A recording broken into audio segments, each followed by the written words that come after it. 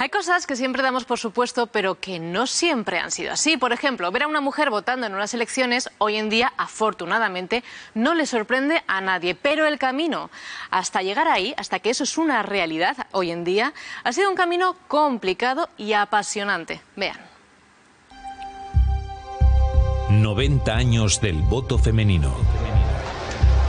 Nos queda todo por hacer y lo vamos a hacer en las calles pero también aquí en el Congreso.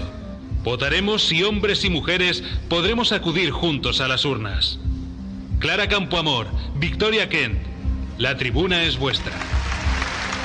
Para entender la aprobación del voto a las mujeres hay que entender la figura de dos mujeres que son Clara Campoamor y Victoria Kent. Clara Campoamor una importantísima abogada y ella estaba por la labor de conceder el voto a las mujeres desde el primer momento en la Constitución de 1931.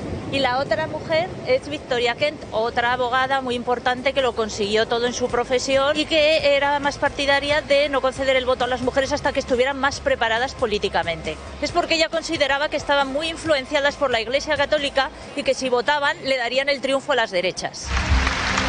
El 1 de octubre de 1931, la mujer española conquistó el derecho al voto en este país. Lo logró tras una ajustada votación. ¿Cómo quedaron esas votaciones? Bueno, pues fueron 161 votos a favor 121 en contra y 188 abstenciones. Esto quiere decir que hubo 188 diputados que decidieron no pronunciarse.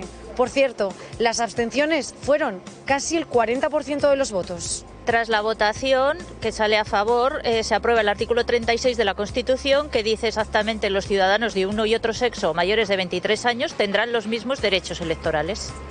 Y estos son algunos de los calificativos que el diputado y catedrático Roberto Novoa decía acerca de las mujeres. Histéricas, volubles, emocionales y reflexivas y concebidas además por la mayor parte de la sociedad únicamente como esposas y madres. La primera vez que realmente las mujeres votaron en este país fue en 1933. Luego volvieron a votar en 1936 y después tenemos que tener en cuenta que luego ni hombres ni mujeres pudieron votar durante 40 años, que es lo que duró la dictadura franquista en España. No podemos olvidar que los derechos de las mujeres en España son relativamente recientes y que día a día tenemos que seguir luchando por mantenerlos y consolidarlos.